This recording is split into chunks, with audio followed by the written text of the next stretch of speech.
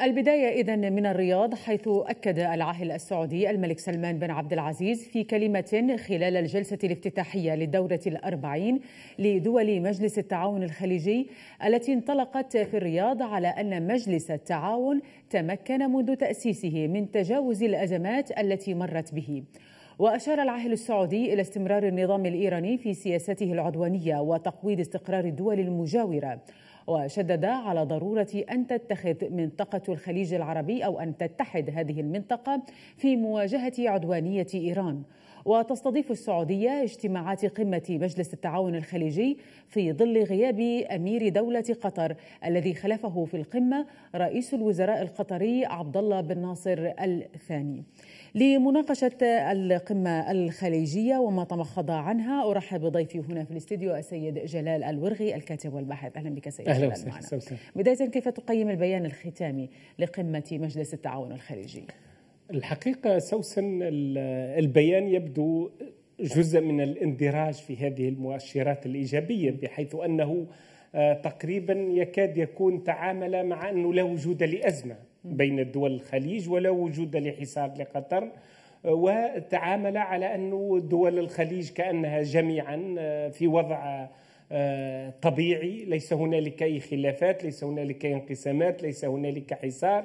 وتحدث عن مشاريع مشتركة يعني عسكرية واقتصادية ويعني مبادرات مشتركة ومواجهة الخطر الإقليمي أيضا بشكل مشترك واعتبار العدوان على أي دولة عضو في مجلس التعاون الخليجي هو اعتداء على جميع هذه الدول. هذا كله يعكس في الحقيقة الأجواء التي الإيجابية إن صح التعبير والمؤشرات الإيجابية التي بدأت تلوح في الأفق منذ أسابيع وتجسدت في هذه القمة التي كان يفترض سوسن أن تعقد في الإمارات. ويبدو أن السعودية بادرت بعقدها في الرياض.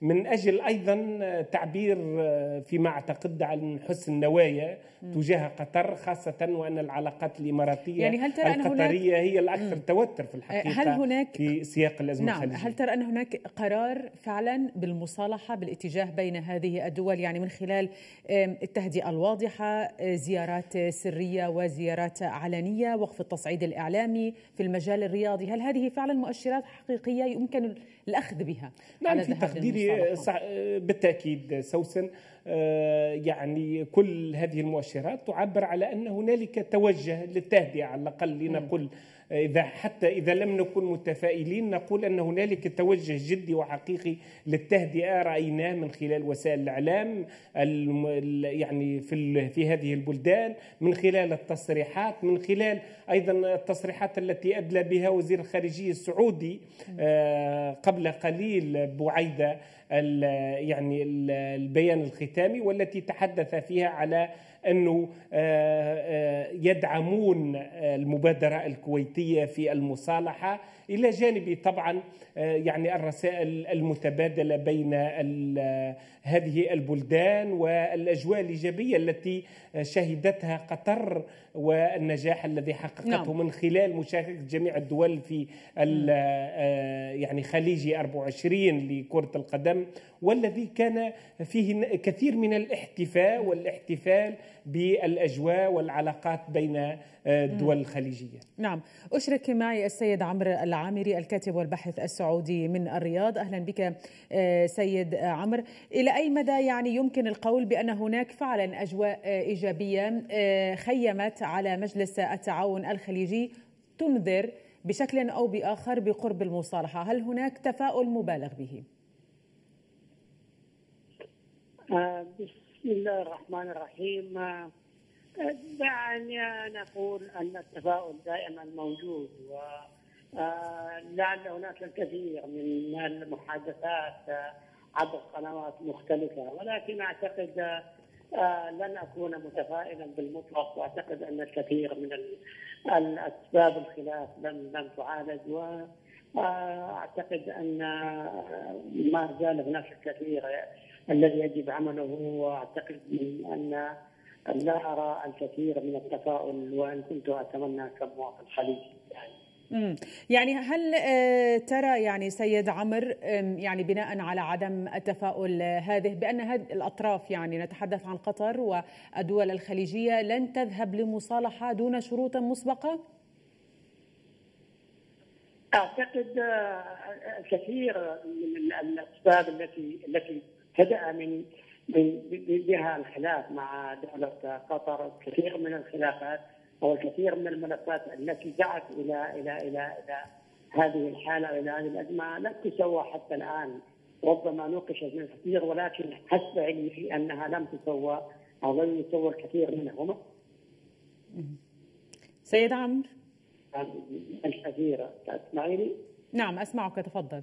ألو؟ نعم نعم أسمعك تفضل. لا أعتقد إن الكثير الكثير من الملفات لم تسوى ولكن انه ان تكون هناك اجتماعات فهذه حالة إيجابية وأن يكون هناك محادثات هي أيضا حالة إيجابية ولعلها خطوة أولى. ولكن هناك الكثير لم لم لم لم آه، أعتقد أنه على دوله قطر الكثير لتفعله في هذا المجال. ولكن حضور مندوب عن قطر أو حضور مصر قطر إضافة إلى إلى إلى إلى المناقشات الجانبية بحد ذاتها تعطي أمل أو بارقه أمل. ولعل وعسى. طيب. إيه، أعود لك سيد جلال الورغي. يعني هل تتفق مع السيد عمر بأنه لا يجب الذهاب بعيدا؟ نعم ولذلك يعني أنا ولذلك تحدثت عن التهدئة. هنالك بوادر تهدئة حقيقية. آه، يعني العراقيل لا تزال. ولكن في اعتقادي سوسن أن الكرة في شباك في الحقيقة دول حصار يجب أن نقول هذا بكل وضوح لأنه في نهاية المطاف اولا إذا تحدثنا عن السعودية، السعودية ستكون كبيرة إذا قادت مجلس تعاون خليجي موحد ليس هنالك فيه خلافات بين هذه الدول الأعضاء في المجلس. الآن هنالك نوع من التباين إلى حد ما يجب أن نعترف به وهذا يضعف يعني مكانة السعودية إقليميا ودوليا. إلى جانب هذا آه، في تقديري آه، قطر دولة بإمكانياتها الذاتية استطاعت أن آه، يعني في نهاية المطاف تحقق نجاحات كبيرة خلال السنوات الماضية لا أحد يست... سواء على المستوى الدبلوماسي المستوى الاقتصادي مستوى الاعتماد على الذات في يعني إدارة شأنها. بينما في تقديري الدول دولة مثل السعودية يعني مثل ما أشرت تحتاج في قضاياها الإقليمية وهي دولة آه، كبيرة تحتاج إلى أن يعني آه، تعيد النظر في كثير من الأمور من أجل أن تتموقع التموقع الصحيح إقليميا ودوليا. هذا يقتضي يعني مجلس تعاون خليجي قوي. حتى وان تطلب الامر ان تكون هي المبادرة باستمرار طيب. لاحتواء الخلافات ويعني تفكيك الأزمات وتقديري هذا يتوقع منها. وهذا يحتاج آه، إلى آه، تغيير بعض السياسات وأيضا نعم. آه، حتى تغيير الدفع باتجاه تعديل نظرة بعض الدول لبعضها مثل الإمارات في تقديري لا تزال عامل سلبي في هذه طيب. الأزمة في, في هذه ولها تحفظات حتى أن وكالة الأنباء الفرنسية اليوم تحدثت على أن أبو ظبي لا تزال تغرد خارج السرب طيب. في هذا المسار التصالح في هذه النقطة سيد عمر يعني هل هناك تباين آه، سعودي إماراتي حول التهدئة. يعني إذا آه، كنت لا ترغب أو ترى أن الأمور لا تذهب لحد التفاؤل بمصالحة. الرغبة بالتهدئة خلال هذه المرحلة وهو واضح جدا من آه، خطاب العاهل السعودي من الترحيب بالقطريين. هل هناك تباين سعودي إماراتي حول هذا التقارب أو التهدئة؟ لا أستطيع أن ادعي ان هناك تباين ولا أستطيع أن أتحدث عن موقف الاماراتي وليس بحق أتحدث عن موقف الاماراتي. أعتقد لو ان السعودية والإمارات دائما مواقفهما متطابقة وإن كان من هناك من تباين فقد يكون في طرق المعالجة وليس في في المحصلة النهائية. إن كان هناك من تباين عدا ذلك أعتقد أن هناك آه، آه، آه، متطابق الآراء. طبعا السعودية بصفتها الدول المضيفه المضيفة رحبت بالقطريين ورحبت بالقطريين وتأمل الوصول إلى حل. وأعتقد أن كثير من القضايا تتناقش في هذه طيب ما هي العوائق؟ طيب. التي نتمنى ما هي العوائق سيد عمر التي قد تحول دون المصالحة؟ العواقب أعلنت في حينها وهي النقاط التي أعلنتها نحن بالمملكة العربية السعودية. مثلا العاقبة الأولى أن قطر ما زالت تدعم الإرهاب وفي اعتقادنا وما زالت بطرق أو عبر قنوات بعيدة أو غير مرئيه تساعد جماعات لا تحمل الود من الحرب السعودية سواء في حربها مع اليمن أو سواء في جماعات إرهابية في دول أخرى. ما زالت قطر هي اللاعب الخفي والممول لهذه الجماعات ماديا وتؤوي بعض قياداتها، ما زالت الكثير قناة الجزيرة ما زالت على ذات السياق الإعلامي طيب.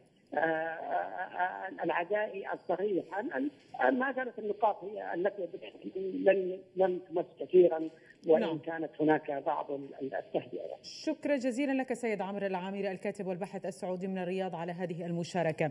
ما تفضل به السيد عمرو أستاذ جلال الورغي هل هذا الحديث ما زال قائما أو مطروحا يعني سيطرح على طاولة المصالحة؟ في تقديري لا ويعني جزء من الأزمة تفكك سوسن. وأنا دعيني أقول بدون تحفظ أن السعودية ودول الحصار هي الخاسرة في هذه الأزمة ولذلك هي التي بدت مبادرة أكثر من قطر باتجاه تفكيك هذه الأزمة.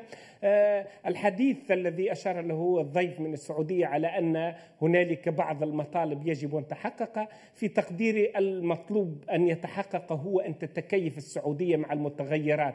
السعودية سواء النظام السعودي أو النظام المصري أو الإماراتي أو البحريني الذي يطالب بمثلا لجم قنوات فضائية قمعها إسكاتها أو إعادة صياغة يعني منهجها التحريري في تقديري. هذا عودة إلى الوراء.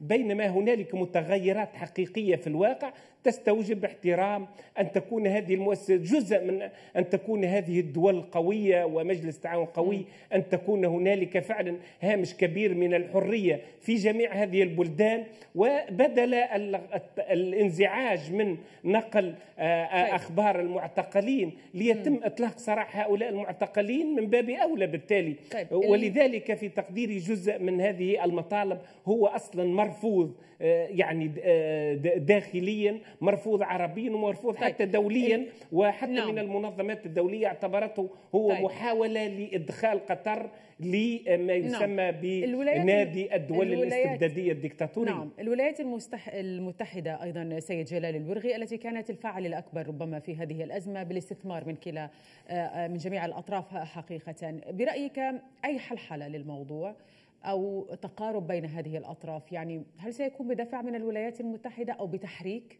هو دعيني أقول سوسن أن الولايات المتحدة الأمريكية وإدارة ترامب تحديدا كانت جزء من الأزمة وهي التي شجعت دول الحصار على الذهاب وأعطتهم الضوء الأخضر للذهاب لحصار قطر.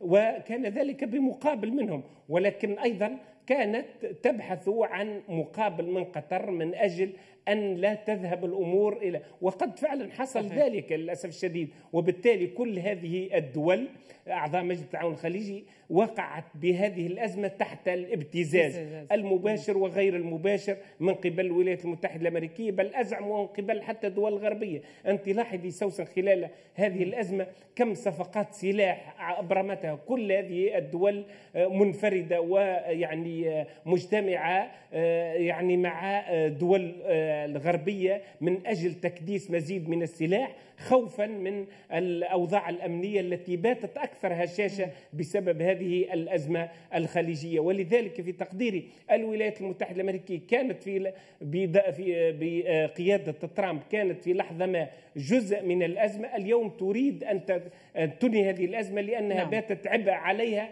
لأن هنالك استحقاقات على الولايات المتحدة الأمريكية إذا ما استمرت هذه الأزمة. هنالك استحقاقات أمنية وعسكرية وسياسية نعم.